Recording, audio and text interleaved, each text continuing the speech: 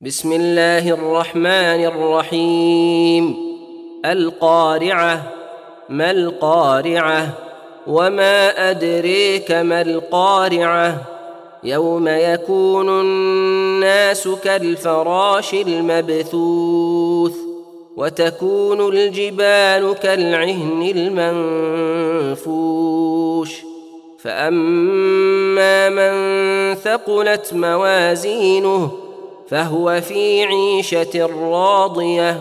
وأما من خفت موازينه فأمه هاوية.